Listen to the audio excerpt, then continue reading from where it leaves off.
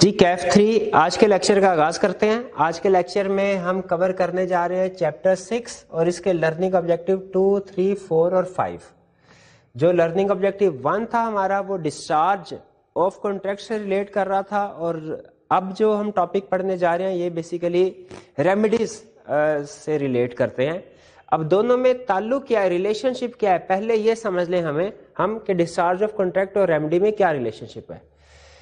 Discharge of contract का मतलब है कि कॉन्ट्रैक्ट एंड हो जाना यानी कॉन्ट्रैक्ट का खत्म हो जाना। डिस्चार्ज ऑफ़ कॉन्ट्रैक्ट जो है एक तो उसकी हैप्पी एंडिंग आती है ना एक्चुअल बाय परफॉर्मेंस इसके अलावा कुछ और तरीकों से भी परफॉर्मेंस के अलावा कुछ और तरीकों से भी कॉन्ट्रैक्ट खत्म हो जाता है डिस्चार्ज हो जाता है जिसमें हमने स्टडी किया था by mutual agreement by impossibility supervening impossibility और uh, इसके अलावा ब्रीच ऑफ़ कॉन्ट्रैक्ट लेकिन ब्रीच ऑफ़ कॉन्ट्रैक्ट के अलावा जितने भी modes of discharge of contract है, उनमें याद रखिए, जब कॉन्ट्रैक्ट खत्म होता है तो डैमेजेस पे नहीं किए जाते। क्योंकि उसमें नॉर्मली कोई पार्टी ऐसी नहीं है जो कि जिसका कोई फॉल्ट हो। ठीक है? सुपरविनिंग इम्पॉसिबिलिटी में भी या इनिशियल इम्पॉसिबिलिटी में भी पार्टीज़ का फ्रॉड नहीं होता। पार्टीज़ का फॉल्ट नहीं होता। और इसके अलावा म्यूचुअल एग्रीमेंट में ज़ाहिर है दोनों पार्टीज़ एग्री कर जाती है तो किसी भी पार्टी को हम ये नहीं कह सकते कि ये एग्रीव्ड है और ये डिफॉल्टिंग पार्टी है। लेकिन जब ब्रीच ऑफ़ कॉन्ट्रैक्ट होता है तो उसमें एक पार्टी अपना जो किया हुआ प्रॉमिस है, उसको पूरा नहीं करते। ब्रीच के केस में लॉ ये कहता है कि अब जो एग्रीव्ड पार्टी है, उसका राइट है कि वो डिफॉल्टिंग पार्टी से डैमेजेस क्लेम करे। और जिस पार्टी ने अपना प्रॉमिस पूरा नहीं किया, जिसका कसूर है, वो दूसरी एग्रीव्ड पार्टी को डैमेजेस पे करे। अब जो, या उसको उसको कंपनसेट करे। अब बेसिकली जो ब्रीच ऑफ़ कॉन्ट्रैक्ट के केस से आगे चल रहा है हमारे ये लर्निंग ऑब्जेक्टिव कि जब कभी ब्रीच ऑफ़ कॉन्ट्रैक्ट होगा तो जो एग्रीव्ड पार्टी है, उसके पास क्या कोर्स ऑफ़ एक्शन होगा? एग्रीव्ड पार्टी के पास क्या कोर्स ऑफ़ ये है रेमेडीज रेमेडीज किसे कहते हैं? कोर्स ऑफ़ एक्शन जो कि एग्रीव्ड पार्टी के पास होगा। एग्रीव्ड पार्टी जो कोर्स ऑफ़ एक्शन अडॉप्ट कर सकती है। किस केस में? ब्रीच ऑफ़ कॉन्ट्रैक्ट के केस में। ब्रीच ऑफ़ कॉन्ट्रैक्ट फिर सुन लीजिए ब्रीच ऑफ़ कॉन्ट्रैक्ट के केस में।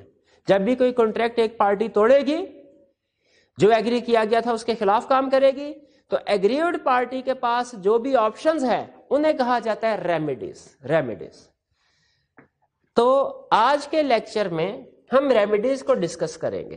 अच्छा रेमेडीज जो है, ये ज़रूरी है कि एक ही लेक्चर में सारी रेमेडीज को डिस्कस किया जाए, वरना वो मिक्स होने का खतरा होता है।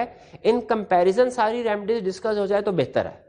तो हम इस लेक्चर में सारी की सारी रेमेडीज को डिस्कस करेंगे। इसके जो केस स्टडीज़ होंगी, वो फिर हम नेक्स्ट लेक्चर में डिस्कस करेंगे। जो हमारा नेक्स्ट लेक्चर होगा, वो इस चैप्टर की रिमेनिंग केस स्टडीज़ और इस चैप्टर के एमसीक्यूज के ऊपर बेस कर रहा होगा। आज के लेक्चर में हमने सिर्फ़ और सिर्फ़ लर्निंग ऑब्जेक्टिव्स को कवर करना है, क्योंकि लर्निंग ऑब्जेक्टिव थोड़े से ज़्यादा है। तो मैं चाह रहा हूँ कि हम इनको कंप्लीट कर लें। आज के लेक्चर में सिर्फ़ यही कंप्लीट करें। जल्दी जल्दी में केस स्टडी डिस्कस करवाने। की खातिर इन की लर्निंग पे कम्प्रोमाइज नहीं करना चाहिए तो आज सिर्फ़ हम लर्निंग ऑब्जेक्टिव को डिस्कस करेंगे केस स्टडीज़ और एमसीक्यूज नेक्स्ट लेक्चर में डिस्कस होंगे। तो हम पढ़ने क्या जा रहे हैं रेमेडीज रेमेडीज क्या होती हैं कि अगर कोई एक कॉन्ट्रैक्ट को तोड़ा जाए, कोई एक पार्टी कॉन्ट्रैक्ट तोड़े ब्रीच ऑफ़ कॉन्ट्रैक्ट के केस में एग्रीड पार्टी के पास क्या ऑप्शंस हैं? उन ऑप्शंस को रेमेडीज कहा जाता है। जो बड़ी कैटेगरी है रेमेडीज की, वो दो हैं। एक है इक्विटेबल रेमेडीज और दूसरा है कॉमन लॉ रेमेडीज रेमेडीज यानी कोर्स ऑफ़ एक्शन जो एग्रीड पार्टी के पास होगा, इसकी दो बड़ी टाइप्स हैं। पहली टाइप क्या है? इक्विटेबल रेमेडीज और दूसरी कॉमन लॉ रेमेडीज दोनों में फ़र्क क्या है? ये सुनिए। इक्विटेबल रेमेडीज में पैसे नहीं अदा किए जाते हैं, बल्कि डिफॉल्टिंग पार्टी को कहा जाता है भाईजान, जो आपने वादा किया था ना कॉन्ट्रैक्ट में जो आपकी जिम्मेदार वो काम करे। यानी इसमें कॉन्ट्रैक्ट को इन्फोर्स करवाया जाता है। कोर्ट बाय फोर्स कॉन्ट्रैक्ट के ऊपर अमल करवाती है उस पार्टी से। यह है इक्विटेबल रेमेडीज इक्विटेबल मतलब है, जो कॉन्ट्रैक्ट में एग्री किया था, वो काम करो। कॉमन लॉ रेमेडीज का मतलब यह है कि कॉन्ट्रैक्ट की जो एग्रीड प्रॉमिस है, जो एग्रीड वादा किया गया था, उसको इन्फोर्स नहीं करवाया जाता। बल्कि एग्रीव्ड पार्टी को कहा जाता है अच्छा भाईजान, ऐसा करें, आप कॉन्ट्रैक्ट को भूल जाएँ। लेकिन उस कॉन्ट्रैक्ट के ऊपर अमल ना होने की वजह से जो आपको नुकसान हुआ है, आप वो पैसे ले लें। आपका हरजाना अदा कर दिया जाता है। कॉन्ट्रैक्ट के ऊपर अमल नहीं होगा। यह है common law remedies common law remedies monetary terms में कंपनसेशन अदा करने को कहते हैं। और इक्विटेबल रेमेडीज का मतलब यह है कि कंपनसेशन नहीं, बल्कि वो काम जो एग्रीमेंट किया गया था, जो प्रॉमिस किया गया था, उसके ऊपर अमल करवाया जाएगा।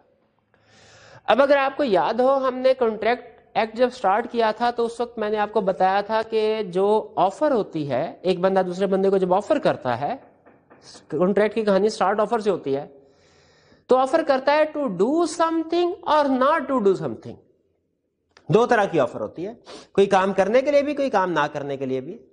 जैसे मैं आपको अपनी गाड़ी दस लाख में बेचूँगा, ये है ऑफ़र टू डू समथिंग और अगर आप मुझे एक लाख रुपया दे तो मैं अगला पूरा साल सिगरेट नहीं पीऊँगा। Offer not to do something दोनों तरह की हो सकती है।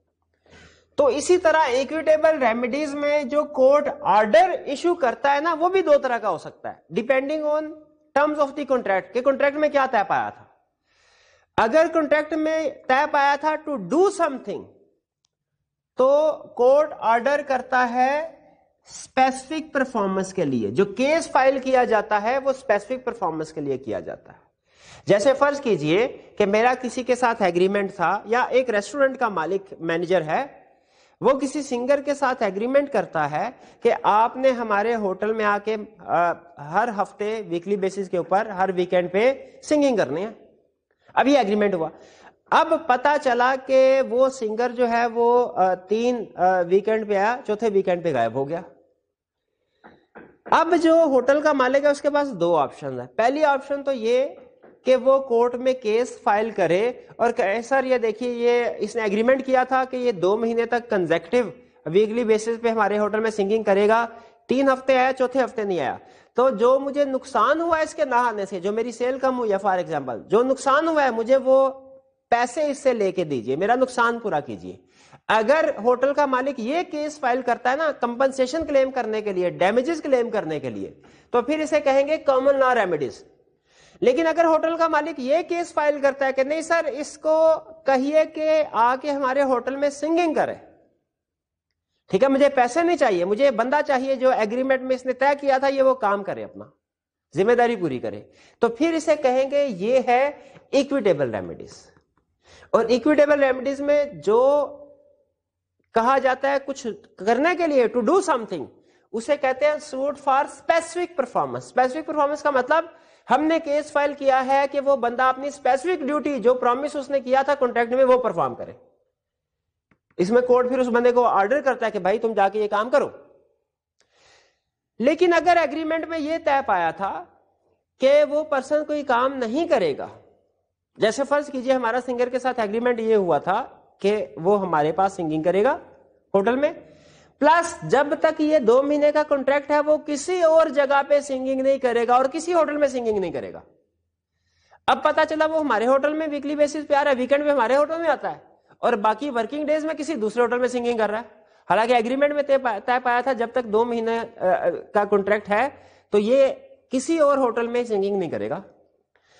अब की बार जो होटल का मालिक केस फ़ाइल करेगा उसके खिलाफ, वो सूट फॉर स्पेसिफिक परफॉर्मेंस नहीं होगा। क्यों? क्योंकि वो आ तो रहा है उसके पास। जो उसने टू डू समथिंग का एग्री किया था, वो तो कर रहा है। हाँ जो नॉट टू डू का एग्री किया था, वो नहीं काम कर रहा। उसके खिलाफ चल रहा है। तो अब होटल का मालिक कोर्ट से जाके कहेगा, सर, इसको मना करे कि दूसरे रेस्टोरेंट्स में जाके सिंगिंग ना करे। अब की बार जो सूट फ़ाइल किया जाएगा, वो होता है suit for injunction injunction suit for injunction का मतलब या इसे उर्फ़ आम? उर्फ़ आम इसे स्टे ऑर्डर भी कहते हैं। स्टे ऑर्डर आपने कई दफ़ा अखबारों में सुना होगा। स्टे ऑर्डर में कोर्ट रोकती है किसी पार्टी को कोई काम करने से। जैसे कोर्ट ने स्टे ऑर्डर दे दिया फॉर एग्ज़ाम्पल चुबुर्जी पे जो कंस्ट्रक्शन का काम हो रहा है, इसको रोक दिया जाए। स्टे ऑर्डर कहलाता है इंजंक्शन तो अगर किसी को किसी काम करने से रोकना हो तो फिर जो सूट फ़ाइल किया जाता है, वो होता है suit for injection suit for injection क्या है? Order of court prohibiting from doing an act court का ऑर्डर जो कि मना करता है किसी बंदे को कि तुमने ये काम नहीं करना। और सूट फॉर स्पेसिफिक परफॉर्मेंस क्या है? Order of court to do promise यानी बेसिक डिफरेंस क्या हुआ? Suit for specific performance order to do suit for injection क्या है? Order not to do something ठीक है? ये इसमें, इन दोनों में कॉमन क्या चीज़ है भला? कि दोनों में कॉन्ट्रैक्ट की टर्म्स को इन्फोर्स करवाया जा रहा है। बदले में हरजाना नहीं लिया जा रहा। तो suit for specific performance law अब आगे फर्दर बताता है। जिस तरह हमने सुपरविनिंग इम्पॉसिबिलिटी में पढ़ा था ना कि कुछ केसेस ऐसे होते हैं जिनमें सुपरविनिंग इम्पॉसिबिलिटी राइज होती है, कुछ में राइज नहीं होती। कमर्शियली जब कॉन्ट्रैक्ट फिजिबल नहीं रहता, उसमें सुपरविनिंग इम्पॉसिबिलिटी राइज नहीं होती। जब कोई सब्जेक्ट मैटर डिस्ट्रॉय हो जाता है इलीगल हो जाता है उस पर गवर्नमेंट की तरफ़ से पाबंदी लग जाती है वो सुपरविनिंग इम्पॉसिबिलिटी होती है। उसी तरह कुछ कॉन्ट्रैक्ट ऐसे होते हैं जिनमें कोर्ट स्पेसिफिक परफॉर्मेंस अलाउ करता है और कुछ कॉन्ट्रैक्ट ऐसे होते हैं जिनमें स्पेसिफिक परफॉर्मेंस अलाउ नहीं करता। हमने जिस तरह सुपरविनिंग इम्पॉसिबिलिटी की लिस्ट याद की, की थी इक्वली इंपॉर्टेंट है कि हम सूट फॉर स्पेसिफिक परफॉर्मेंस की लिस्ट भी याद करें कि किन केसेस में सूट फॉर स्पेसिफिक परफॉर्मेंस की इजाज़त है, किन केसेस में सूट फॉर स्पेसिफिक परफॉर्मेंस की इजाज़त नहीं है। तो स्टार्ट करते हैं वन बाय वन कब suit for specific performance allow किया जाता है? जब एक्चुअल डैमेजेस मैयरेबल ना हो, उस पार्टी को जितना नुकसान हुआ है अगर वो मैयर नहीं किया जा सकता तो फिर स्पेसिफिक परफॉर्मेंस अलाउ की जाती है। स्पेसिफिक परफॉर्मेंस अलाउ की जाती है। जैसे फ़र्ज़ कीजिए, एक बंदा है, अब मैं इसको मिला रहा हूँ दूसरी एग्जांपल के साथ, ये। Contract of sale of rare commodities या प्रॉपर्टी जब रेयर कमोडिटीज का कॉन्ट्रैक्ट होता है एग्रीमेंट होता है, या प्रॉपर्टीज़ की सेल परचेज का एग्रीमेंट होता है, तब उसकी अगर कोई वायलेशन करे फॉर एग्ज़ाम्पल एक बंदे ने दूसरे बंदे से एग्रीमेंट किया कि रेयर कमोडिटी है, मेरे पास कोई नादर नयाब जो है वो चीज़ है तो मैं उसको सेल करता हूँ और बाद में वो उसको सेल नहीं करता। तो दूसरी पार्टी कोर्ट में केस फ़ाइल करके इन्फोर्स करवा सकती है कि ये पार्टी हमें ये रेयर आर्टिकल ही सेल करे। इसी तरह फ़र्ज़ कीजिए, जब actual damages are not measurable फ़र्ज़ कीजिए एक बंदे ने दूसरे बंदे से जो है, उसको एक सोने का हार सेल किया। ज़रूरत के वक्त उसे ज़रूरत थी। जब उसने हार सेल कर दिया तो उसके बाद महीने, ज्वेलर था कोई, उस ज्वेलर ने अपनी दुकान पे लगा लिया।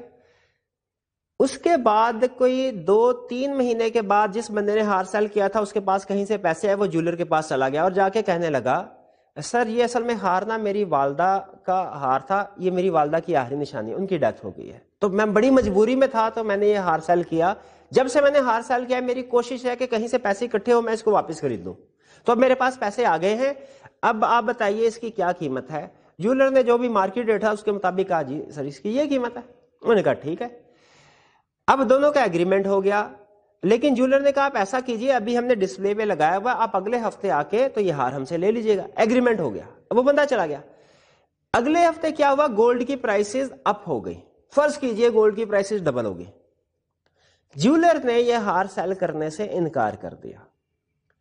अब अगर ये आम हार होता ना, आम हार तो वो बंदा जिसने एग्रीमेंट किया था, वो कोर्ट जाता। कोर्ट कहता, जी, इस सिचुएशन में जो डैमेजेस है ना, वो एडिक्वेट रेमेडी है। यानी आप करते ये हैं कि वो ज्वेलर हार ना बेच रहा, आपको कोई मसला नहीं। मार्केट में इस हार की जितनी कीमत है वो और जितनी आपने एग्रीमेंट किया था कॉन्ट्रैक्ट का, यानी अगर फ़र्ज़ कीजिए हार का एग्रीमेंट हुआ था एक लाख का मार्केट में अब इसकी करंट प्राइस दो लाख पे पहुँच गई है तो दो लाख और एक लाख का फ़र्क, एक लाख रुपया जो है ना, वो आपको ज्वेलर से हरजाना दिलवा देते हैं डैमेजेस इस केस में जब उसकी कोई एसोसिएशन ना होती किसी किस्म की उस हार के साथ, एक लाख रुपया एडिक्वेट डैमेजेस था. लेकिन अब, चूँकि उसकी एक एसोसिएशन है बायर की, उस हार के साथ अब वो जाके जब कोर्ट में केस फ़ाइल करेगा, वो कहेगा, नहीं सर डैमेजेस नहीं मुझे चाहिए, मुझे तो ये हार ही चाहिए, मैं किसी खास वजह से ये हार खरीदना चाह रहा हूँ, वरना मार्केट में ज्वेलरोज भी बहुत से बैठे हैं। इससे अच्छे अच्छे डिज़ाइन मार्केट में मौजूद है। ठीक है, लेकिन मैंने एक खास रीजन की वजह से इस हार को बाय करना है। अब रेमेडी मेरे लिए एडिक्वेट नहीं है। इस सिचुएशन में जब damages damages actual damages measurable ना हो या एडिक्वेट ना हो मैयर ना किए जा सके या एडिक्वेट ना हो तो इस सिचुएशन में फिर लॉ स्पेसिफिक परफॉर्मेंस को अलाउ करता है। कोर्ट कहेगा, ठीक है जीलर को भाई यही हार बेचो। तो ये कुछ केसेस हैं जिनमें और damages is not adequate remedy यानी डैमेजेस से मेरा मॉनिटरी कंपनसेशन जो है वो एडिक्वेट रेमेडी ना हो। ठीक है, जैसे मैंने आपको एग्ज़ाम्पल दी इस केस में डैमेजेस एडिक्वेट रेमेडी नहीं है। इसीलिए suit for specific performance file किया जाएगा। एक्चुअली ट्रांजैक्शन होगी। हरजाना अदा नहीं होगा। तो हमारा रूल क्या बना? वो कौन से केसेस हैं जिनमें सूट फॉर स्पेसिफिक परफॉर्मेंस को अलाउ किया जाता है? जब डैमेजेस को आप मैयर ना कर सके किसी भी वजह से। जब डैमेजेस एडिक्वेट रेमेडी ना हो फॉर एग्ज़ाम्पल ये हार वाली एग्ज़ाम्पल या जब रेयर आर्टिकल्स या बिल्डिंग वगैरह की सेल परचेज का एग्रीमेंट हो, उस सूरत में लॉ स्पेसिफिक परफॉर्मेंस अलाउ करता है। और किस केसेस में स्पेसिफिक परफॉर्मेंस जो है, वो अलाउ नहीं की जाती? यानी अच्छा अब जिन केसेस में स्पेसिफिक परफॉर्मेंस अलाउ नहीं की जाएगी, उन केसेस में फिर क्या अलाउ किया जाएगा? उन केसेस में फिर डैमेजेस अलाउ किए जाएँगे। हर जाना अलाउ किया जाएगा। तो वो कौन से केसेस है जब स्पेसिफिक परफॉर्मेंस अलाउ नहीं होगी? Contract of personal nature for example marriage का कॉन्ट्रैक्ट एक बंदे ने दूसरे से एग्रीमेंट किया मैरिज का, उसके बाद वो मुकर गया। अब ला ज़बरदस्ती इसको इन्फोर्स नहीं करवाएगा कि भाई ज़बरदस्ती शादी कर, वो तो दोनों को डिस्टर्ब करने वाली बात है। इस सूरत में फिर ला स्पेसिफिक परफॉर्मेंस अलाउ नहीं करेगा, लेकिन ला उस दूसरी पार्टी को जाने भी नहीं देगा, जिसने वादा खिलाफी की है। बल्कि उसको एग्जाम्पली डैमेजेस लगाए जाएँगे उसके ऊपर। फिर वन पार्टी इज़ माइनर एक पार्टी माइनर है।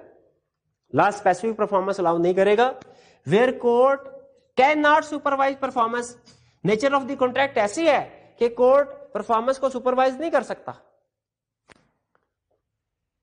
Third if contract is in equitable for either party अगर किसी एक पार्टी के लिए कॉन्ट्रैक्ट इन इक्विटेबल है, यानी फेयर टर्म्स पे नहीं है तो उस सूरत में ला स्पेसिफिक परफॉर्मेंस को अलाउ नहीं करता, बल्कि डैमेजेस अलाउ करता है।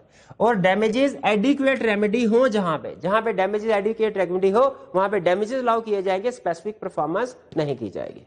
तो बेसिक कंसेप्ट हमने क्या सीखा कि जो, जब कभी ब्रीच ऑफ़ कॉन्ट्रैक्ट होता है, दो तरह की रेमेडीज होती हैं इक्विटेबल और common law remedies equitable remedies क्या होती है? कॉन्ट्रैक्ट की टर्म्स को इन्फोर्स करवाया जाता है। अगर कॉन्ट्रैक्ट की टर्म्स है टू डू समथिंग तो फिर suit for specific performance file किया जाता है। अगर कॉन्ट्रैक्ट की टर्म्स है नॉट टू डू समथिंग तो फिर सूट फॉर इंजंक्शन या स्टे ऑर्डर फ़ाइल किया जाता है। अब फिर उसके बाद सूट फॉर स्पेसिफिक परफॉर्मेंस में हमने दो तरह की एग्जाम्पल्स पढ़ी हैं। लिस्ट पढ़ी एग्जाम्पल्स पढ़ी कि वो कौन सी सिचुएशन है जिनमें लॉ अलाउ करता है स्पेसिफिक परफॉर्मेंस और वो कौन सी केसेस हैं जिनमें लॉ अलाउ नहीं करता स्पेसिफिक परफॉर्मेंस तो हमें पता चला, जहाँ पे डैमेजेस एडिक्वेट रेमेडी हो वहाँ पे स्पेसिफिक परफॉर्मेंस अलाउ नहीं की जाती डैमेजेस अलाउ किए जाते हैं। जहाँ पे डैमेजेस एडिक्वेट रेमेडी नहीं है, या जहाँ पे डैमेजेस एक्चुअल डैमेजेस को मैयर नहीं किया जा सकता, या जहाँ पे एग्रीमेंट हो रहा है sale and purchase of rare articles या बिल्डिंग का, ऐसी सिचुएशंस में लास्ट स्पेसिफिक परफॉर्मेंस को अलाउ करता है। लेकिन अगर डैमेजेस एडिक्वेट रेमेडी है, उन्हें मैयर किया जा सकता है, और एक पार्टी माइनर है कॉन्ट्रैक्ट पर्सनल नेचर का है, ऐसी सिचुएशन में स्पेसिफिक परफॉर्मेंस अलाउ नहीं की जाती, बल्कि डैमेजेस अलाउ किए जाते हैं। तो अब हम चलते हैं नेक्स्ट इक्विटेबल रेमेडी से कॉमन लॉ रेमेडीज की तरफ़। कॉमन लॉ रेमेडीज का मतलब क्या है? कि जब एक बंदे ने कॉन्ट्रैक्ट की वायलेशन की, दूसरी पार्टी के पास क्या राइट्स मौजूद हैं other than equitable remedy equitable remedy के अलावा। फ़र्ज़ कीजिए एग्रीमेंट हुआ था कॉन्ट्रैक्ट टू डू समथिंग एक रेयर आर्टिकल था, उसको बेचने का एग्रीमेंट हुआ था, अब वो पार्टी मुकर गई। तो कह रही, हमने रेयर आर्टिकल्स नहीं देना तो suit for specific performance file किया जाएगा, और लॉ इन्फोर्स करेगा कि इसको सेल किया जाए। लेकिन फ़र्ज़ कीजिए कि कोई आम बाज़ार की चीज़ है। फॉर एग्ज़ाम्पल हमने एग्रीमेंट किया दूसरे बंदे के साथ एसी बाय करेंगे hundred AC at the rate of fifty thousand per unit अब दूसरी पार्टी ने हमें ड्यू डेट पे प्राइसेस बढ़ गई और वो प्रोडक्ट जो एग्रीमेंट किया था हमें सेल करने से इनकार कर दिया। अब हमारे पास कॉमन लॉ में क्या रेमेडीज मौजूद हैं, क्या कोर्स ऑफ़ एक्शन मौजूद है, ये सुन लीजिए। हमारे पास तीन स्टेप्स तीन काम करने होते हैं कॉमन लॉ रेमेडीज में। जब हम कॉमन लॉ में आते हैं, हमने तीन काम करने सबसे पहला उस पार्टी ने कॉन्ट्रैक्ट की वायलेशन की। हम इस कॉन्ट्रैक्ट को कैंसल करेंगे, रिसेंड करेंगे। रिसियन पहली ऑप्शन होती है। पहली ऑप्शन नहीं, बल्कि पहला काम जो हमने करना होता है, तीनों काम होते हैं। तीनों जो कॉमन लॉ रेमेडीज है, किसी भी कॉन्ट्रैक्ट में ये तीनों काम होते हैं। पहला काम क्या?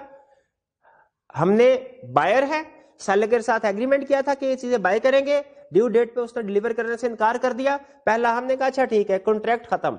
Rescission of contract rescission of contract का मतलब क्या होगा कि अब हमने अपना जो पार्ट प्ले करना था, अपना रोल अपनी ज़िम्मेदारी तो थी हमारी, हम वो पूरी करने के लिए लाइबल नहीं है। यानी कॉमन सेंस की बात है, अगर उसने हमें एसी डिलीवर करने थे, फ़र्ज़ कीजिए हमने उसे एक लाख रुपए एडवांस दे दिया था। और बाकी फॉर एग्ज़ाम्पल जितने भी अमाउंट बनती है, उन्नीस लाख रुपए बनती है। हमने कहा था उन्नीस लाख रुपए तुम्हें, बीस तारीख को जब तुम हमें एसी दोगे, हम तुम्हें बीस तारीख को उन्नीस लाख रुपए बकाया देंगे। अब उसने बीस तारीख को हमें एसी नहीं दिए। क्या हमें अपना उन्नीस लाख बाय कॉन्ट्रैक्ट उसको अदा करना है? नहीं करना। ठीक है? तो जब वो कॉन्ट्रैक्ट ही कैंसिल हो गया तो उसका मतलब हमारी रिस्पॉन्सिबिलिटी अंडर डेट कॉन्ट्रैक्ट वो भी ज़ीरो हो गई। तो हम पहला काम करेंगे कॉन्ट्रैक्ट को रिसेंड कर देंगे। एग्रीड दूसरा काम क्या करेंगे? बेनिफिट्स को रिस्टोर करवाएँगे। बेनिफिट रिस्टोर करने का मतलब क्या है? कि जो भी एडवांस लिया दिया एक दूसरे के साथ, वो रीपे करें रिटर्न करें एक दूसरे को। बेनिफिट्स भी रिस्टोर हो गए। लेकिन बात अभी खत्म नहीं हुई। क्यों? क्या हमें उसके, उसने हमारा ऑर्डर कैंसिल कर दिया। इसकी वजह से हमें नुकसान नहीं होगा। एक तो फौरी तौर पे हमारा, अगर हमने अपने फैक्ट्री में उस चीज़ को इस्तेमाल करना था, वो इस्तेमाल नहीं कर सकेंगे। और अगर हम इसे अर्जेंट बेसिस पे किसी दूसरी जगह से खरीदते हैं, हमें हो सकता है हायर प्राइस पे करनी पड़े। तो क्या हमें कुछ ना कुछ नुकसान भी तो हुआ होगा ना? वो नुकसान कैसे भरेगा? तो तीसरा जो काम होगा, वो होगा डैमेजेस हम उससे डैमेजेस क्लेम करेंगे। तो कॉमन लॉ रेमेडीज में तीन बातें आती हैं। कौन कौन सी? रिसियन रेस्टिट्यूशन डैमेज रिसियन का मतलब क्या है? Contract comes to an end अब उस कॉन्ट्रैक्ट के मुताबिक कोई भी चीज़ काम नहीं करना। कॉन्ट्रैक्ट खत्म। रेस्टिट्यूशन का मतलब क्या है? बेनिफिट्स को रिस्टोर करना। और तीसरा डैमेजेस का मतलब क्या है? जो नुकसान हुआ, उसे कंपनसेट करवाना। लेकिन याद रखें, कुछ केसेस ऐसे होते हैं जिनमें रिसियन नहीं होती। और कुछ केसेस ऐसे भी होते हैं जिनमें रेस्टिट्यूशन भूल गए होंगे आपको याद है? इलीगल जो कॉन्ट्रैक्ट्स होते थे इलीगल कॉन्ट्रैक्ट्स में रेस्टिट्यूशन नहीं होती थी। लॉ रेस्टिट्यूशन अलाउ नहीं करता। और कुछ कॉन्ट्रैक्ट ऐसे भी हैं जिनमें रिसियन भी अलाउड नहीं है। यह आपने पढ़ा शायद चैप्टर फोर में पढ़ा था फ्री कंसेंट वाले टॉपिक में। जब था मिस रिप्रेजेंटेशन ऑफ़ फ्रॉड यह हम पढ़े थे कि जब मिस रिप्रेजेंटेशन या फ्रॉड हो तो एग्रीव्ड पार्टी के पास ये राइट होता है voidable contract at the option of aggrieved party यानी वो चाहे तो रिसेंड कर सकते हैं, लेकिन वहाँ पे हमने पढ़ा था कि इन सरकमस्टांसिस में कॉन्ट्रैक्ट रिसेंड नहीं होगा। वो पाँच केसेस थे मेरा ख्याल है शायद। जैसे वो थर्ड पार्टी को बेनिफिट्स जो थर्ड पार्टी है, वो इंटरेस्ट एक्वायर कर ले।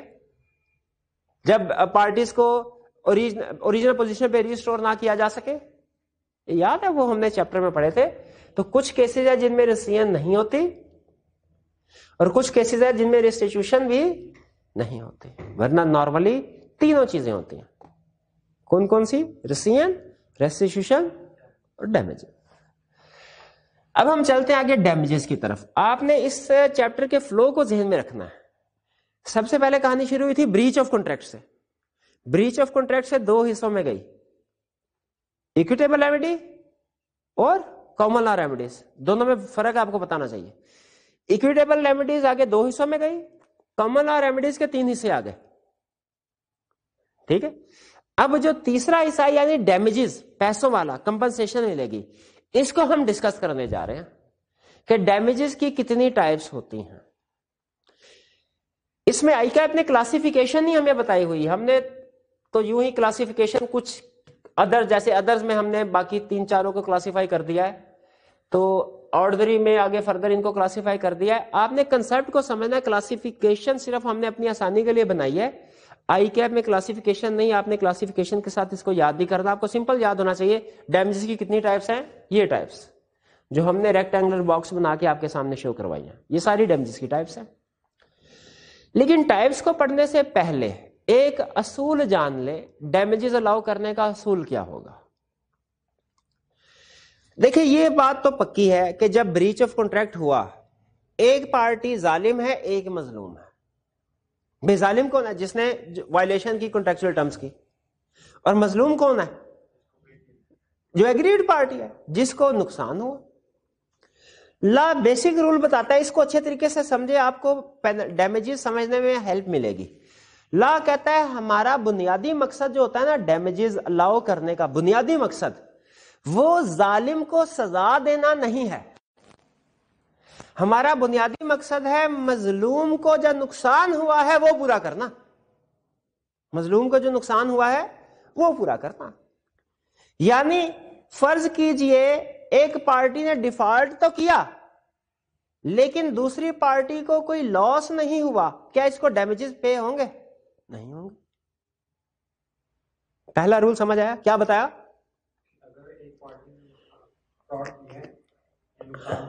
कि बेसिक रूल ये है कि पेनालाइज नहीं करना डिफॉल्टिंग पार्टी को पेनालाइज नहीं करना, बल्कि एग्रीड पार्टी को कंपनसेट करना यह पहला रूल दूसरा रूल अगर पार्टी आपस में या तो हो सकता है, देखिए दोनों पार्टीज़ को अंदाज़ा होता है ना कि हो सकता है दूसरी पार्टी अमल ना करे इस कॉन्ट्रैक्ट के ऊपर तो वो बाज जो डैमेजेस की अमाउंट होती है वो कॉन्ट्रैक्ट में लिख देते हैं। या तो डैमेजेस की अमाउंट कॉन्ट्रैक्ट में लिखी होगी या नहीं लिखी होगी? अगर लिखी होगी तो क्या कोर्ट वो अलाउ करवाएगा जो लिखी गई है? नहीं। कोर्ट कहता है, बाजुकात ऐसा होता है कि हो सकता है फोर्सफुली आपने कॉन्ट्रैक्ट की टर्म्स जो हैं, वो एक्स्ट्रा ऑर्डनरी रख दिया। तो ला कहता है, अगर तो वो लॉस रीजनेबल हुआ ना तो हम उस, जो आपने लिखा है कॉन्ट्रैक्ट में, हम उसको ऑर्डर करेंगे कि ये दा हो। लेकिन अगर वो अनरीजनेबली हाई है तो कोर्ट कहता है, हम वो अनरीजनेबली हाई अमाउंट पे करने को नहीं कहेंगे। हम आपको कहेंगे कि रीजनेबल जो एक्चुअल लॉस है, वो कवर करें। जैसे आपको एग्ज़ाम्पल के ज़रिए से समझाता हूँ। अब मैं बेसिकली पहले एग्ज़ाम्पल उनमें मैं आपको टाइप भी डिस्कस करता जाऊँगा, कुछ एग्जाम्पल्स फ़र्ज़ कीजिए, एक पार्टी ने दूसरे के साथ एग्रीमेंट किया कि, सर, आप एक मशीनरी है हमने मशीनरी खरीदनी है, आपसे हमारी फैक्ट्री में मशीनरी लगनी है। आप वो मशीनरी हमें इस महीने की 25 तारीख को हमारी फैक्ट्री में डिलीवर कर दीजिएगा। उसने कहा, ठीक है डिलीवर हो जाएगी। अब ड्यू डेट पे हम मशीनरी रिसीव करने के लिए गए। मशीनरी की प्राइस थी फॉर एग्जांपल 25 लाख। अब मार्केट में वो 20 लाख की मिल रही है। लेकिन उस पार्टी के पास गए तो उसने कहा, सर, मैं तो अभी ये काम ये हफ़्ते के बाद ही ना, जब आपके साथ एग्रीमेंट हुआ था, हफ़्ते के बाद ही ये काम छोड़ दिया था। अब मैं आपको मशीन सप्लाई नहीं कर सकता। मशीन सप्लाई नहीं कर सकता। कॉन्ट्रैक्ट में लिखा हुआ था कि अगर ये मशीन सप्लाई ना की गई तो एक लाख रुपया हर जाने के तौर पे अदा किया जाएगा। अब ला क्या करेगा? इस सिचुएशन में मुझे बताइए, अब मार्केट में प्राइस उसकी कम हो गई है, पच्चीस से बीस आ गई है। क्या बायर को लॉस हुआ? नहीं हुआ।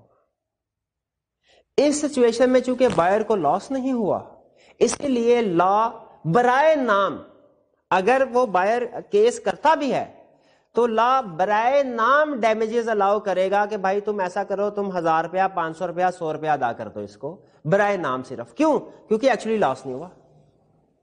एक्चुअली लॉस नहीं ये कहलाते हैं नोमिनल डैमेजेस यानी जब कोई टेक्निकल वायोलेशन हुई हो या जो एग्रीड पार्टी है उसको कोई लॉस ना हुआ हो। यह लॉस हुआ तो जो आ, दूसरी पार्टी है उसमें उसका फॉल्ट नहीं था। ऐसी सारी सिचुएशन में लॉ नॉमिनल डैमेजेस अलाउ करता है नॉमिनल डैमेजेस ये डैमेजेस होता है बहुत सवाल। अच्छा फ़र्ज़ कीजिए, अगर कॉन्ट्रैक्ट में यह लिखा था कि अगर डिलीवरी ना हुई तो दूसरी पार्टी 50 लाख रुपए हर जाने के तौर पे अदा करेगी। और मार्केट में अब इसकी प्राइस तीस लाख हो चुकी है मशीनरी की। अब ड्यू डेट पे उसके पास गए, दूसरी पार्टी ने रिफ्यूज कर दिया कि, सर, हमने मशीनरी डिलीवर नहीं करने। बायर ने केस फ़ाइल कर दिया। अब क्या लॉ जो है वो पचास लाख रुपए डैमेजेस के तौर पे जो एग्री हुए थे, वो अलाउ करेगा? या जितना उसका एक्चुअल लॉस हुआ था? जितना उसका एक्चुअल लॉस हुआ था। ठीक है लॉ अनरीजनेबली हाई डैमेजेस को अलाउ नहीं करता। वो कहता है भाई, हम आए कंपनसेशन देनी है। हमने दूसरे बंदे को सजा नहीं देनी। तो कंपनसेशन किसकी होगी? जितना लॉस हुआ उसकी होगी। डिफरेंस होगा मार्केट प्राइस का और एक्चुअल पाँच लाख जैसे इस केस में। इस केस में पाँच लाख होंगे। वो लॉस जो डायरेक्ट कॉन्सिक्वेंस की वजह से होते हैं, उनको कंपनसेट किया जाता है। इसे कहते हैं ऑर्डनरी डैमेज ऑर्डनरी डैमेज लेकिन याद रखें, इसमें भी लॉ ये कहता है कि हमारा रूल होगा एक्चुअल को सामने रखना। अच्छा आप अगर फ़र्ज़ कीजिए एग्रीमेंट में यह तय पाया कि अगर उस पार्टी ने डिलीवर नहीं किया तो पाँच लाख रुपए हजाने के तौर पे अदा करेगी। और एक्चुअली लॉस हुआ, अब जो लॉस हुआ उस बंदे को, वो दस लाख का हुआ। ये बड़ी इंटरेस्टिंग सिचुएशन है। कॉन्ट्रैक्ट में कितना एग्री हुआ था? डैमेज पाँच लाख। उसे कितना हुआ नुकसान? दस लाख का। कोर्ट ये कहता है कि हम इसमें, अगर आपने कॉन्ट्रैक्ट में डैमेजेस की अमाउंट लिख दी थी ना तो फिर हम actual or contracted whichever is lower उसको लाउ करेंगे। विच एवर इज़ जैसे इस केस में, पाँच लाख को लाउ करेंगे। तो ये बात समझ आई। डैमेज का सूल समझ आ रहा है। पहला सूल क्या है? हमने कंपनसेट करना है एग्रीड पार्टी को। डिफॉल्टिंग पार्टी को पेनालाइज नहीं करना। अगर उस पार्टी को एग्रीड पार्टी को नुकसान हुआ है, फिर डैमेजेस मिलेंगे, वरना नहीं मिलेंगे। अगर उन्होंने कॉन्ट्रैक्ट में कोई डैमेजेस तय कर ली हैं, अगर तब वो रीजनेबल है तो वो पे हो जाएँगे। और अगर वो अनरीजनेबली हाई है कोर्ट उसको अप्रूव नहीं करेगा रीजनेबल को अप्रूव करेगा। ठीक है? समटाइम गलती की वजह से ब्रीच ऑफ़ कॉन्ट्रैक्ट होता है, लेकिन इसकी वजह से दूसरी पार्टी को नुकसान नहीं होता कोई। कोर्ट डैमेजेस लाउ करेगा? नहीं करेगा। या अगर करेगा भी तो नॉमिनल डैमेजेस बराए नाम लेकिन अगर ब्रीच ऑफ़ कॉन्ट्रैक्ट हुआ और दूसरी पार्टी को नुकसान हुआ है कोर्ट अलाउ करेगा। अच्छा जो रीजनेबल और एक्चुअल दोनों को सामने रखा जाएगा। हाँ जी, बिल्कुल। कॉन्ट्रैक्टेड टर्म और एक्चुअल बेसिकली लॉ ये कहता है कि एक्चुअल लॉस होंगे, वो कंपनसेट करवाए जाएँगे। लेकिन ऐसा नहीं कि आप एक्चुअल लॉस बढ़ा चढ़ा के सामने रख दें। जैसे आपको एक और केस बता दू। अब ये आपने गौर से सुनना, ये एग्ज़ाम में टच करता है बंदे ने फैक्ट्री वाले ने ऑर्डर दिया मशीनरी का परचेज करने का, कि मुझे 25 तारीख को मेरी फैक्ट्री में मशीनरी चाहिए। असल में फैक्ट्री वाले को एक एक्सपोर्ट का ऑर्डर आया था। जिसकी वजह से वो अपनी जो सप्लाई कैपेसिटी है वो बढ़ाना चाह रहा था। कॉन्ट्रैक्ट में ये तय पाया था कि जो डैमेजेस होंगे फॉर एग्जांपल पाँच लाख, वो अदा होंगे। या फ़र्ज़ कीजिए कॉन्ट्रैक्ट में कुछ भी डैमेजेस नहीं लिखे। अब अगली एग्जांपल ले लेते हैं। जब डैमेजेस नहीं लिखे होते कॉन्ट्रैक्ट में, तब क्या होगा? कॉन्ट्रैक्ट में डैमेजेस का कुछ ज़िक्र नहीं है। पच्चीस तारीख आ गई। प्राइस थी मशीनरी की 25 लाख लेकिन प्राइस बढ़ के 30 लाख हो गई। दूसरी पार्टी जिसे सप्लाई करना था, उसने कहा, नहीं, अब ये कॉन्ट्रैक्ट मेरे प्रॉफिटेबल नहीं है। मैं अब इसको सप्लाई नहीं कर रहा। ठीक? जो फैक्ट्री का मालिक है, उसने केस फ़ाइल कर दिया। और उस केस में कंपनसेशन में उसने 55 लाख क्लेम किया। पचपन लाख का ब्रेकअप क्या दिया? उसने कहा, सर, पाँच लाख तो वो है कि कॉन्ट्रैक्ट की इसने वायलेशन की तो मार्केट प्राइस और कॉन्ट्रैक्ट प्राइस का जो डिफरेंस होता है, पाँच लाख वो। कोर्ट ने कहा अच्छा ये पचास लाख क्या चीज़ है? उसने कहा, सर, मेरा एक्सपोर्ट का ऑर्डर आया हुआ था। उसकी डेडलाइन थी कि वो मैंने पाँच फरवरी तक देना था।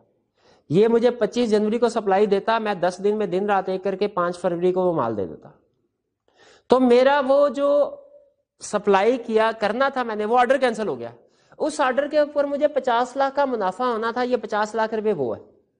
ये भी तो मुझे नुकसान हुआ इसके लिए एक बड़ी अजीब सी टर्म आपको शायद लगेगी, यूज़ की जाती है लॉस ऑफ़ प्रॉफिट यानी जो एक्सपेक्टेड प्रॉफिट होना था, वो जाया हो गया। पचपन लाख। पाँच लाख तो हम सारे एग्री करते हैं ना डैमेजेस के तौर पे पे होंगे। पचास लाख पे होंगे कि नहीं? इनको ला कहते हैं स्पेशल डैमेजेस स्पेशल डैमेजेस ठीक है? ला कहते हैं, हम वो डैमेजेस अलाउ करेंगे जो natural and direct consequences of breach होंगे। जो natural and direct consequences of breach होंगे। Natural and direct consequence of breach का मतलब यह है कि जो ब्रीच ऑफ़ कॉन्ट्रैक्ट की वजह से डायरेक्टली नुकसान हुआ। जो डायरेक्टली नुकसान हुआ पाँच लाख का हुआ। दूसरे हम अलाउ नहीं करेंगे, लेकिन एक शर्त पे अलाउ कर सकते हैं। हाँ जो प्रॉफिट होना था, नहीं हुआ। वो वाला भी अलाउ कर सकता है अलाउ एक शर्त पे। शर्त क्या है? जिस वक्त कॉन्ट्रैक्ट हो रहा था, उस वक्त उस मशीनरी वाले बंदे को सप्लायर को यह बता दिया जाता कि भाई 25 तारीख को तुमने ये सप्लाई करना है। अगर 25 तारीख को सप्लाई ना किया, हमारा एक्सपोर्ट ऑर्डर कैंसिल हो जाएगा जिसपे हमें 50 लाख का प्रॉफिट होना है। वो फिर हम तुमसे ले लेंगे। अगर ये बता दिया जाता तो फिर ला कहता है, बिल्कुल। फिर ये स्पेशल डैमेज हम अलाउ करते हम ये समझते कि ये आपका एक्चुअल लॉस हुआ है। ये आपका एक्चुअल लॉस हुआ क्लियर हुई है बात? अगर वो टर्म नहीं बताई गई तो हाँ अगर ये नहीं बताया गया टर्म्स को टर्म्स को नहीं बताया गया फिर सिर्फ़ वो मार्केट प्राइस का डिफरेंस और कॉन्ट्रैक्ट प्राइस का डिफरेंस ही लागू होगा। तो ये तीन तरह के मैंने डैमेजेस आपको बताए नॉमिनल ऑर्डिनरी और स्पेशल नॉमिनल कौन से होते हैं? जब उस पार्टी को नुकसान ही नहीं होता। ऑर्डिनरी कौन से होते हैं? जब पार्टी को नुकसान होता है। जैसे उसे महँगी चीज़ खरीदनी पड़ी तो जो डिफरेंस होगा। स्पेशल कौन से होते हैं? कि जो नुकसान हुआ वो भी, और जो एक्सपेक्टेड प्रॉफिट होना था, नहीं हुआ, वो भी। लेकिन अब सप्लायर ने क्या किया? अगली दफ़ा इसी तरह का केस हुआ। सप्लायर ने 555 मिलियन का केस फ़ाइल कर दिया। सॉरी 555 लाख का। कोर्ट ने कहा, भाई, पाँच लाख तो समझ में आता है। ये तो आपने चाहे कॉन्ट्रैक्ट में लिखा था या नहीं लिखा था। ब्रीच ऑफ़ कॉन्ट्रैक्ट की वजह से आपका नुकसान हुआ, हम पाँच लाख आपको लाव करते हैं, जो मार्केट प्राइस और कॉन्ट्रैक्ट प्राइस का फ़र्क है। जो ऊपर का पचास लाख है, ये क्या चीज़ है? उसने कहा, सर, वो एक्सपोर्ट ऑर्डर कैंसिल हुआ। लाल ने पूछा अच्छा कॉन्ट्रैक्ट में लिखा हुआ था उस पार्टी को? तुमने बताया था टाइम ऑफ़ कॉन्ट्रैक्ट कि अगर पूरा ना किया तो मुझे पचास लाख का नुकसान होगा? उन्होंने कहा, जी सर, बताया था। लॉ ने कहा, बताया था तो ये भी अलाउड पचास लाख ये भी मिलेगा। ये पाँच सौ क्या चीज़ है? पाँच सौ लाख। उसने कहा, सर, ये पाँच सौ लाख है, असल में मैंने एक्सपोर्ट ऑर्डर डिलीवर नहीं कर सका ना। तो उसकी वजह से हमारी कंपनी जो है वो बैन हो गई है। अब वो उस मुल्क में कोई भी एक्सपोर्ट नहीं कर सकती अगले दस साल तक। तो अगले दस सालों में मैंने जितनी एक्सपोर्ट करनी थी ना, ये उसका प्रॉफिट है। कोर्ट ने कहा, भाईजान, इतनी दूर नहीं जाना। इसे कहते हैं रिमोट डैमेजेस रिमोट डैमेज इतनी दूर नहीं जाना आपने। ठीक है रिमोट डैमेजेस अलाओ नहीं होंगे। नहीं होंगे। रीजनेबल नहीं रीजनेबल नहीं। ठीक है तो ये ordinary damages nominal damage special damages फ़र्क समझ आ गया? और इसके साथ रिमोट डैमेजेस का फ़र्क समझ आ गया? चलिए अब ये आगे बेसिकली लिखा वही इसमें नॉर्मली स्टूडेंट को ये टर्म कंफ्यूज करती है ये sir natural and direct consequences का मतलब क्या है? नेचुरल एंड डायरेक्ट कॉन्सिक्वेंसेज का ये एक फ्रेज है। इसको आपने अलग अलहदा नहीं पढ़ना। जैसे कुछ मुहावरे बन जाते हैं ना तो लॉ में ये मुहावरा बन जाता है नेचुरल एंड डायरेक्ट कॉन्सिक्वेंस मुहावरा बन चुका है। इसका मतलब ये है कि कॉन्ट्रैक्ट के खत्म होने की वजह से जो फौरी डायरेक्ट नुकसान हुआ उस पार्टी को, वो अदा करना है आपने। जो बिल्कुल डायरेक्टली रिलेटेड होगा। ये बेसिकली होता है नॉर्मली जब सेल परचेज का एग्रीमेंट होता है ना, और हमारे कॉन्ट्रैक्ट एक्ट में नॉर्मली सेल परचेज का एग्रीमेंट ही होते हैं तो इनमें जो कॉन्ट्रैक्टेड प्राइस और मार्केट प्राइस का डिफरेंस होता है, उसे कहते हैं हम natural and direct consequences of breach फिर इसके बाद एग्जेम्पलरी डैमेजेस या विंडिक्टिव डैमेजेस भी कहते हैं, या ऐसे पिनेटिव डैमेजेस भी कहते हैं। ये कौन से डैमेजेस हैं? एग्ज़ाम्पल नॉर्मल लॉ का रूल ये होता है कि क्या रूल बताया था? पहला रूल क्या बताया था डैमेजेस लॉ करने का? कि कंपनसेट करना बेसिक रूल क्या है? एग्रीड पार्टी को कंपनसेट करना है डिफॉल्टिंग पार्टी को पेनालाइज नहीं करना। लेकिन लॉ में दो केसेस हैं जिनमें डिफॉल्टिंग पार्टी को पेनालाइज किया जाता है। दो एक्सेप्शन है इसके। वो बेसिकली है एग्जाम्पलरी डैमेजेस कहलाते हैं। एग्जाम्पलरी का मतलब क्या मिसाली डैमेजेस यानी ऐसी पेनल्टी पड़ेगी, ऐसे डैमेजेस अदा करने पड़ेंगे कि मिसाल बन जाएगी दुनिया में। ये दो केसेस हैं, इनके ऊपर लॉ जो है वो कंप्रोमाइज नहीं करता। पहला केस कॉन्ट्रैक्ट टू मैरी हो एग्रीमेंट टू मैरी हो, और कोई बंदा उसको ब्रेक कर दे। उसको ब्रेक कर दे। अब इसमें लॉ ये कहता है, चूँकि उस दूसरे बंदे की इमोशनल स्टेट जो है वो बड़ी डिस्टर्बिंग हो जाती है। तो इस केस में हम याद रखें, अब देखें ए केस पढ़ा था ना प्रीवियस लेक्चर में? ए ने बी के साथ दो साल के बाद मैरिज का एग्रीमेंट किया और उससे पहले उसने वो एंगेजमेंट तोड़ दी और उस दूसरी पार्टी ने गलती क्या की? कि उसी की तरले मिनते करते रहे उसने उसके खिलाफ केस फ़ाइल नहीं किया और बाद में लॉ पास हो गया, सबसे सुपरविनिंग इम्पॉसिबिलिटी हो गई। फ़र्ज़ कीजिए, अगर लॉ पास ना होता, दो साल गुजर जाते और जो बी है, जो एग्रीड पार्टी है, वो कोर्ट चली जाती पहला क्वेश्चन मेरा, बताइए, क्या कोर्ट अच्छा उसने केस फ़ाइल किया सूट फॉर स्पेसिफिक परफॉर्मेंस का? बी नहीं। कि सर, ये मुकर गया अब इसे कहें कि अपना जो वादा इसने कॉन्ट्रैक्ट के मुताबिक किया था, उसको पूरा करें, यानी शादी करवाई जाए। क्या कोर्ट ऑर्डर करेगा? कोर्ट स्पेसिफिक परफॉर्मेंस इस केस में अलाउ नहीं करेगा।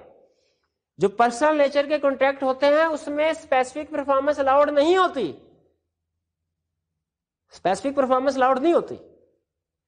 ठीक है? तो यहाँ पे स्पेसिफिक कोर्ट कहेगा नहीं सर सॉरी नहीं मैडम हाँ हम अलाउ नहीं कर सकते स्पेसिफिक परफॉर्मेंस क्योंकि हम फिर बाद में सुपरवाइज भी नहीं कर सकेंगे ना। आपका इसके साथ क्या रवैया रहता है? हम ज़बरदस्ती तो कर दें, लेकिन बाद में वो आपको उल्टा जो है नुकसान पहुँचाए, मुनासिब नहीं है। तो कोर्ट इस केस में स्पेसिफिक परफॉर्मेंस अलाउ नहीं करेगा। फिर क्या अलाउ करेगा? डैमेजेस डैमेजेस अलाउ कर अच्छा डैमेजेस अब कैसे कैलकुलेट होंगे? वैसे भी इसमें देखें कि जो डैमेजेस इस इस में डैमेजेस जो है, वो डिपेंड करता है कि वो पार्टी कितना डिस्टर्ब हुई है। और हाँ बिल्कुल मेंटल कंडीशन पे। और नॉर्मली जो कि मेंटल कंडीशन बहुत डिस्टर्ब हो जाती है तो लॉ ने कहा इस सिचुएशन में हम एग्जाम्पलरी यानी वेरी हाई डैमेजेस अलाउ करेंगे। वेरी हाई जो कि डिपेंड करेगा दूसरे on the basis of mental injury एक लॉ इसको कंप्रोमाइज नहीं करता इस इशू को। और दूसरा, जब बैंकर रॉन्गफुली आपका चेक डिसऑनर करता है। बैंकर रॉन्गफुली आपका चेक देखिए बैंकर है एक ट्रस्टी आपने अपने सारे पैसे जो है वो बैंक के पास जमा करो। इतना एतबार तो हम अपने घर वालों में नहीं करते जितना बैंक में करते हैं, कि सारे पैसे उसके पास जमा करवा दिए। अब अगर हमने उसे चेक लिख के दिया और उसने ड्यू डेट के ऊपर जो हमने उसे बटन उसके ऊपर उसकी पेमेंट ना की दूसरी पार्टी को। अब मैंने आपको पेमेंट करनी है, मैंने चेक लिख के आपको दिया, आप मेरे बैंक के पास जाए, वो डिसऑनर करते पेमेंट ही ना करे। आप बैंक को बुरा नहीं समझेंगे, आप मुझे बुरा समझेंगे। कि भाई, इस पार्टी के चेक तो डिसऑनर होते ही नहीं, आइंदा हमने आपके साथ कोई क्रेडिट की ट्रांजैक्शन नहीं करनी कैश हमारे सामने रखेंगे, फिर आपको चीज़ बेचेंगे। तो इसमें चूँकि मार्केट में जिस बंदे का चेक डिसऑनर होता है ना चेक के पीछे उस बंदे की गुडविल होती है। उसकी गुडविल इफ़ेक्ट होती है। इसीलिए लॉ ये कहता है कि अगर बैंक ने रॉन्गफुली चेक डिसऑनर किया तो फिर हम इसमें भी एग्जाम्पली डैमेजेस अलाउ करेंगे पार्टी को, दूसरी पार्टी को। और एग्जाम्पली डैमेजेस यहाँ पे किस चीज़ पे बेस कर रहे होंगे? यहाँ पे मेंटल इंजरी पे नहीं, उस पार्टी की गुडविल में बेस कर रहे होंगे। खास तौर पे अच्छा अगर ट्रेडर है ना ट्रेडर उसकी गुडविल तो मार्केट में होती है। उसको अपनी गुडविल साबित करने की ज़रूरत नहीं है। एक जो नॉन ट्रेडर है, जैसे मैं सैलिड पर्सन हूँ, मैंने चेक इशू किया और बैंक ने डिसऑनर कर दिया। इस केस में भी एग्जाम्पली डैमेजेस अलाउ होंगे, लेकिन मुझे साबित करना पड़ेगा कि मेरी गुडविल इफ़ेक्ट हुई है। यानी ये कोई कमर्शियल ट्रांजैक्शन था। लेकिन ट्रेडर जो हैं मार्केट के ट्रेडर्स ताजिर हजात है, उनका अगर चेक डिसऑनर हो जाए, उन्हें साबित करने की ज़रूरत नहीं। लाज्यूम करता है ट्रेडर की मार्केट में गुडविल है बैंक ने रॉन्गफुली डिसऑनर किया तो वो गुडविल इफ़ेक्ट हुई। तो ये वो दो केसेस है जब एग्जाम्पली डैमेजेस अलाउ किए जाते हैं। फिर इसके बाद एक अच्छा ये मेन टाइप्स हैं। एक, दो, तीन, चार। एग्ज़ाम में ज़्यादातर क्वेश्चन जो है वो इन्हीं चार टाइप्स के पूछता है। ठीक है, बड़े क्वेश्चन एमसीक्यूज में मैं भी दूसरी टाइप्स भी पूछ ले। तो कवर हम सारी करने जा रहे हैं, लेकिन ज़्यादा अहम जो है वो कौन सी है? नॉमिनल ऑर्डनरी स्पेशल एग्जाम्पलरी तीनों में फ़र्क आपको पता होना चाहिए। ये बेसिकली लेवल ऑफ़ सिग्निफिकेंस के लिहाज से भी फ़र्क है। सबसे पहले नॉमिनल फिर ऑर्डनरी स्पेशल उससे ज़्यादा, फिर एग्जाम्पलरी सबसे ज़्यादा। अब आता है डैमेजेस फॉर फ़िज़िकल इनकन्वीनियंस अगर कॉन्ट्रैक्ट की वायलेशन की वजह से किसी को फ़िज़िकल इनकन्वीनियंस हो तो उसे डैमेजेस अलाउ किए जाएँगे। फॉर एग्ज़ाम्पल एक फैमिली जा रही थी लाहौर से इस्लामाबाद। ट्रेन पे फॉर एग्ज़ाम्पल ट्रेन पे जा रही थी। रस्ते में ट्रेन ने उन्हें साहिवाल के करीब उतार दिया। पता नहीं वैसे इस्लामाबाद के रास्ते में साहिवाल मेरा ख्याल नहीं आता। चले, अज्यूम कर ले आता है। ठीक रावल हाँ चले रावलपिंडी उतार दिया। अब रावल रावलपिंडी रात का टाइम था, जो रेल वाले थे, उन्होंने कहा, जी, इस्लामाबाद का स्टॉप आ गया उतर जाए। वो उतर गए। अब वो फैमिली थी एक, उन्होंने देखा, भाई, अब तो इस्लामाबाद बहुत दूर है। अब रात का वक्त था, वो पैदल चलना शुरू हो गए। अब चलते चलते किसी ना किसी तरह इस्लामाबाद पहुँच गए, लेकिन ठंड लगने की वजह से उनको फ्लू हो गया और उन्होंने उसका ट्रीटमेंट करवाया। अब क्या ये जो ट्रीटमेंट, मेडिकल ट्रीटमेंट पे पैसे खर्च हुए, ये रेलवे कंपनी से क्लेम किए जा सकते हैं कि नहीं? क्वेश्चन नहीं है। ला कहता है बिल्कुल किए जा सकते हैं।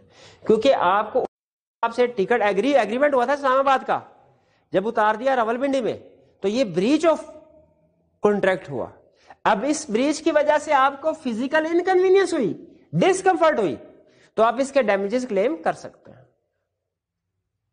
इसके बाद दूसरी कुछ टाइप्स हैं, वो क्या है? लिक्विड डैमेजेस और पेनल्टी ये बेसिकली वही एग्जांपल्स हैं कि अगर कॉन्ट्रैक्ट में हम कोई डैमेजेस लिख दें नॉर्मली क्लास एक लिखी जाती है कमर्शियल कॉन्ट्रैक्ट में, किसी पार्टी ने खिलाफ वर्जी की तो ये उसके खिलाफ एक्शन होगा। अगर वो डैमेजेस जो लिखे गए हों, वो फेयर हो रीजनेबल हो तो उसे कहते हैं लिक्विडिटी डैमेजेस वो प्रोपोर्शनेट टू ब्रीच हो। यानी मुनासिब हो रीजनेबल हो। तो ये कहते हैं लिक्विडिटी डैमेज और अगर वो ज़्यादा हो हायर हो, यानी अनरीजनेबली हाई हो तो उसे ला क्या वर्ड यूज़ करता है? पेनल्टी का। और अच्छा आप मुझे बताइए कॉन्ट्रैक्ट में लिखा गया है कि एक पार्टी ने डिफ़ॉल्ट किया तो दूसरी पार्टी है, वो दूसरी पार्टी को दस लाख रुपए अदा करेगी। ये लिक्विड डैमेजेस है कि पेनल्टी है? ये डिपेंड करता है कॉन्ट्रैक्ट की नेचर के ऊपर।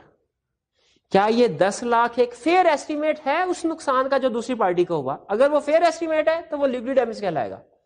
और अगर वो अनरीजनेबली हाई है, पेनल्टी कहलाएगा। अब लाख किसको प्रूव करेगा भला? हाँ liquid damages law liquid damages allow करेगा पेनल्टी जो अनरीजनेबली हाई है, इसको अलाउ नहीं करेगा, इसकी जगह पे रीजनेबल अमाउंट अलाउ करेगा. इसी तरह बाज कुछ कॉन्ट्रैक्ट्स में लिखा होता है कि अगर आप बयाने के तौर पे हमें ये पैसे दें अच्छा मैं कॉन्ट्रैक्ट एक्ट पढ़ा रहा हूँ, हो सकता है जो प्रॉपर्टी की सेल परचेज के ऊपर अलहदा से कोई एक्ट ऑर्डिनेंस हो, उसमें कोई बात और लिखी हो। तो उसमें जो बात लिखी होगी, फिर वो स्पेसिफिक बात है, वो प्रिवेल करेगी। मैं जो कॉन्ट्रैक्ट एक्ट में लिखा है, ये पढ़ा रहा हूँ। एक बंदे का दूसरे बंदे के साथ कोई प्रॉपर्टी बेचने का एग्रीमेंट हुआ और बयाने के तौर पे 20 फ़ीसद रकम अदा कर दी गई। कॉन्ट्रैक्ट में एक टर्म ये भी लिखी हुई थी कि अगर आपने ड्यू डेट के ऊपर बाकी 80 फ़ीसद रकम अदा ना की तो आपका बयाना जब्त कर लिया जाएगा। जो सिक्योरिटी डिपॉजिट भी उसे कहते हैं, उसे अनस मनी भी कहते हैं। वो फॉरफिट कर लिया जाएगा, जब्त कर लिया जाएगा। अब ड्यू डेट पे वो पार्टी पेमेंट नहीं कर सकी। क्या ये डिपॉजिट को फॉरफिट किया जा सकता है? ला कहता है, नहीं, ये तो उसके साथ ज़्यादा होगी। आपने तो ये उसके सारे पैसे, नहीं, आपका जितना नुकसान हुआ है ना, उतने पैसे अपने पास रखे, बाकी नहीं। तो ला कहते हैं, सिर्फ़ गवर्नमेंट को इजाज़त है कि वो डिपॉजिट को फॉरफिट कर सकती है। गवर्नमेंट को इजाज़त है, वो लोगों ने अगर उसके पास कोई कॉन्ट्रैक्ट हुआ है एग्रीमेंट हुआ है गवर्नमेंट के साथ, और उसमें कोई सिक्योरिटी डिपॉजिट वगैरह रखे गए हैं कॉन्ट्रैक्ट की ब्रीच होती है तो गवर्नमेंट जब्त कर सकती है। गवर्नमेंट के अलावा प्राइवेट पार्टीज़ एक दूसरे के पैसे जब्त नहीं कर सकती। इस केस में भी जो सिक्योरिटी डिपॉजिट है, उसे फॉरफिट करने की बजाय लॉ रीजनेबल डैमेजेस अलाउ करेगा। और स्टिपुलेशन फॉर इंटरेस्ट उसमें भी सिमिलर कंसेप्ट है। चारों में सिमिलर कंसेप्ट है। कि आप एग्री जो मर्ज़ी कर लें। अगर वो अनरीजनेबली हाई है ना तो लॉ ने उसमें से सिर्फ़ रीजनेबल अमाउंट को अलाउ करना है, बाकियों को नहीं करना। कोर्ट ने आपने इंटरेस्ट एग्री कर लिया कि जी, दूसरी पार्टी आपको एक लाख रुपया ले रही है और साल बाद वापस करेगी। अगर साल बाद वापस नहीं करती तो 80 परसेंट पर एनएम के हिसाब से आपको इंटरेस्ट पे करेगी। एटी परसेंट पर एनएम इंटरेस्ट अनरीजनेबली हाई है। इसको अलाउ नहीं करता। पार्टी के कि अगर कोई डिफ़ॉल्ट करेगा तो उसको 25 परसेंट पे करना पड़ेगी मतलब कि 25 परसेंट पे करना हाँ अगर ये लिखा हुआ है कि किसी पार्टी ने डिफ़ॉल्ट किया इन दो केसेस में। डिफ़ॉल्ट किया तो 25 परसेंट पे करना पड़ेगा। ये देखा जाएगा कि क्या 25 परसेंट उस कॉन्ट्रैक्ट की नेचर के लिहाज से रीजनेबल अमाउंट है कि नहीं? अगर वो तो टर्म्स ऑफ़ द ट्रेड जो इंडस्ट्री में क्या प्रैक्टिस चल रही है, उससे पता चल जाता है। अगर वो रीजनेबल है तो फिर उसे अलाउ किया जाएगा। Normally 25 percent of the contract price as penalty reasonable नहीं होती। एज डैमेजेस रीजनेबल नहीं होते। तो ला, इस सिचुएशन में क्या करेगा फिर? रीजनेबल अमाउंट आपने सिर्फ़ एक, दो, तीन, चार, इन चारों की नेचर समझनी है, ये क्या है? ठीक है लिक्विड डैमेजेस क्या है? पेनल्टी क्या है? लिक्विड डैमेज क्या है? जो अमाउंट पे करनी पड़ेगी इन केस ऑफ़ ब्रीच और जो फेयर एस्टिमेट है। पेनल्टी फेयर एस्टिमेट नहीं है हाई एस्टिमेट है। इंटरेस्ट जब कॉन्ट्रैक्ट में इंटरेस्ट लिख दिया जाए तो वो पे किया जाएगा जो भी इंटरेस्ट लिखा है, लेकिन वो अनरिजनेबली हाई नहीं होना चाहिए। और इसी तरह सिक्योरिटी डिपॉजिट को भी कोई पार्टी जब्त नहीं कर सकती स्वाय गवर्नमेंट के। इन चारों के पीछे बेसिक कंसेप्ट वही है कि in case of breach reasonable amount allow की जाएगी। अगर अनरीजनेबल अमाउंट एग्री की गई है तो कोर्ट उसको अलाउ नहीं करेगा। ठीक है? ये छोटे कंसेप्ट थे, जो बड़ा कंसेप्ट है हमारा, वो ये चार है। Nominal damages ordinary damages special damages और एग्जाम्पटरी डैमेजेस तो ये था हमारा आज का लेक्चर अब आपने करना क्या है? Learning objective two three four five इनको डिटेल में तसल्ली से पढ़ना है और इनके जो पास पेपर के क्वेश्चंस हैं, उनको भी पहले खुद से एक दफ़ा अटेम्प्ट कीजिए। अगर आपने 50 परसेंट भी आपको क्वेश्चन समझ आ गए तो इसका मतलब है कि आपकी ग्रिप हो गई। बाकी ज़ाहिर हम नेक्स्ट लेक्चर में इन पास पेपर के क्वेश्चन केस स्टडी को डिस्कशन करेंगे ही। लेकिन मैं चाह रहा हूँ, उससे पहले एक दफ़ा भी आप गो थ्रू कर लें और रीडिंग कर लें उसकी। आज का लेक्चर यहाँ पे खत्म करते हैं अल्लाह हाफिज।